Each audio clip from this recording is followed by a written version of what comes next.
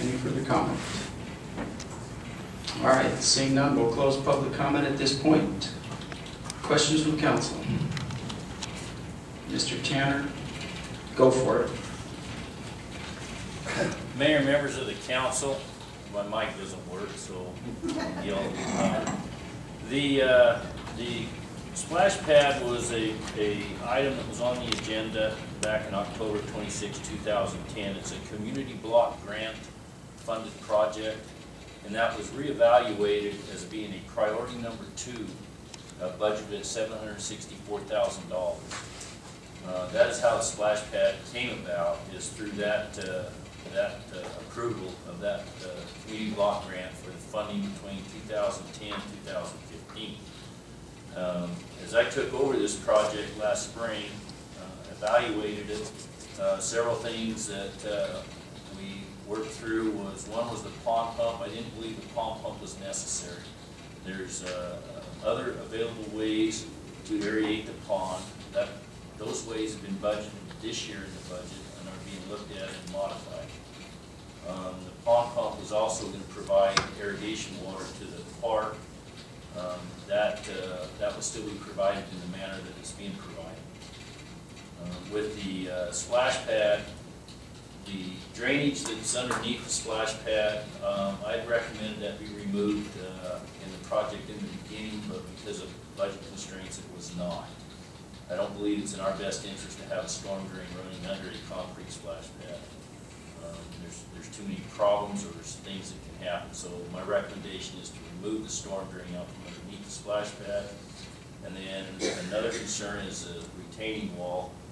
Um, If we've looked at it, it won't be eight hundred and twenty-six feet, we'll limit that down to about four hundred and fifty feet. But that will protect any flooding from getting to the splash pad as, as happened in two thousand and five.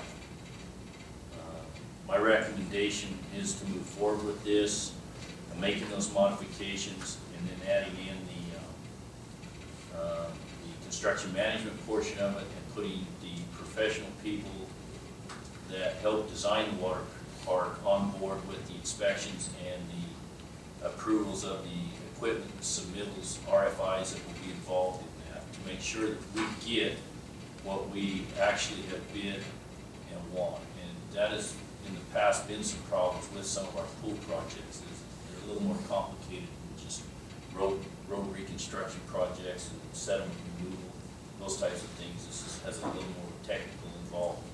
I'd like to try to make sure, it's a small investment to make sure we get what we're paying for, is by having the people that design the park also on staff inspecting as it's being constructed. Thank you, Mr. Tanner. Uh, What's the maintenance to be on that? You know, I, I never looked at that. Um, When I got this project, we were way past that. Um, I would assume those things have been brought forward in the past bid, the past documents, so I have not evaluated that. Do you foresee any major amounts of maintenance on this? I do not, I believe that the reason we went through the, went to the, uh, recycling system through the flow-through system was because of the water usage, water fees was gonna be way higher than what the maintenance was. So we elected to go through a recycle system to drop down the maintenance fees, which would be less than our, you know, water fees. Um, It it has a UV disinfection, um, the maintenance fees, uh, probably wouldn't be very high. Um, and we it would only operate for, you know, probably seven months out of the year, six to seven months out of the year. Uh, I can certainly evaluate those. I know those numbers are out there, I just wasn't prepared with the maintenance cost. I kind of passed that point. But, uh, I'll- I can certainly look into that and bring that back. Okay. Um, One of the concerns I have also is making, trying to get these modifications done. I would, I would like to have something to go to bid in mid-January, early February. I would like the bid process to last quite a bit longer than it did last time. It gives contractors more opportunity to sharpen their pencil, possibly get lower bids. So I'd like to extend the bidding time longer, and in order to do that, and we're looking into March, April, late March. So by the time we did that award, ninety days to hundred and twenty days to construct, we're pushing up against uh, opening in uh, late April, early May. Okay. Councilman Green? Uh, Yes, Mr. Cantor, if you could explain to the public uh, the use of the special for, special purpose funding here, the CDBG versus the general funds. CDBG grant funding is funding, uh, and I may have to refer to Dave uh, a little bit on this, but this is funding that comes from the community block grant. Each year, we're allocated a certain portion of that funding, which is about $192,000 a year. We approved our fiscal year 13-14 um, allocation in July of this year. That was the $192,056. That grant funding is approved uh, for projects specific- specifically through the planning process that we submit to the community block grant funding for projects that fit within their uh, criteria, which is part of the documentation backup that's in this agenda item. Uh, Community block grant funding, um, our last year for this year's cycle is fiscal year fourteen fifteen.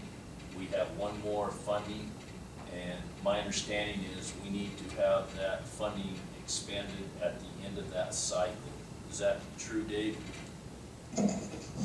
Yes, that's correct. This is going to be funded by, uh, totally by the block grants. The only impact on the general fund would be the minor amount of annual maintenance that you've mentioned. That is correct. Now, part of this funding also comes from the tax parks credits funds. If we need to get into that two hundred thousand that uh, is budgeted in that, uh, uh, also, there's, there's a portion of that that would come out of the tax parks fund. That fund is also based for improvements to specific neighborhood parks.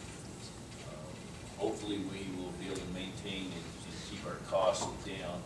Right now, I'm anticipating we're between hundred and eighteen and hundred and fifty thousand under the total funding we have, so I believe we're there. Uh, We will get a, a a wonderful project. Um, it- It is, it is a great project. I want to remind everyone in the documents, we are evaluating reinstalling the runnels. If those runnels are too expensive, if we're talking a couple hundred thousand dollars or a hundred thousand, then we will, we will not go down that road. Uh, That is in the back of, We are still evaluating that. I would like to see those in the project. We've already designed it that way. I'd like to see them in there. Thank you, Mr. Cantor. Mr. Thank you, Councilman. Councilman Withelder? Thank you, thank you, Your Honor. And I would just like to uh, explain to the public why I requested that item be pulled from the consent agenda, because certainly after what you just heard in the last 15 or 20 minutes, it's just much more important to get uh, explanation from the experts so that everybody can digest it rather than rubber stamping it and uh, putting it on the consent agenda. So thank you, everybody, for your input.